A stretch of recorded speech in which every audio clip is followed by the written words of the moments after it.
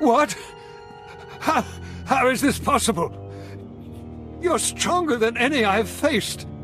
Oh, forgive me, my... my lord. Take the artifact. Just let me live and carry on the cult in your name.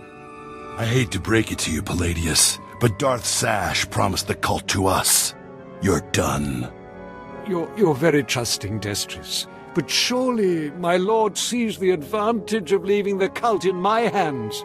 Think of what I could accomplish on your behalf. My lord, please.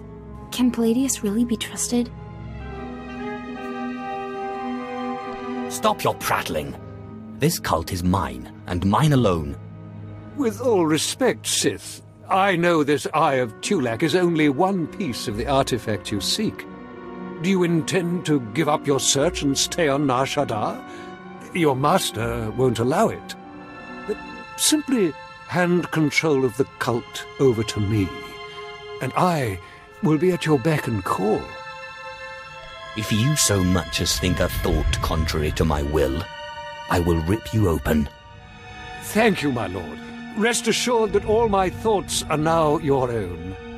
Myself and the cult will assist you whenever you need. You can't do this. We had Darth Zash's word.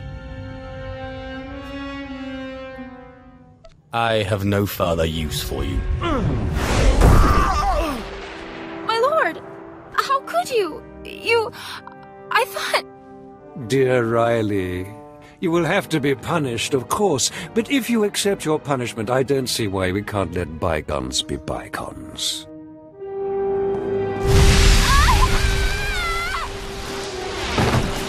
Call on me, and your cult will be waiting.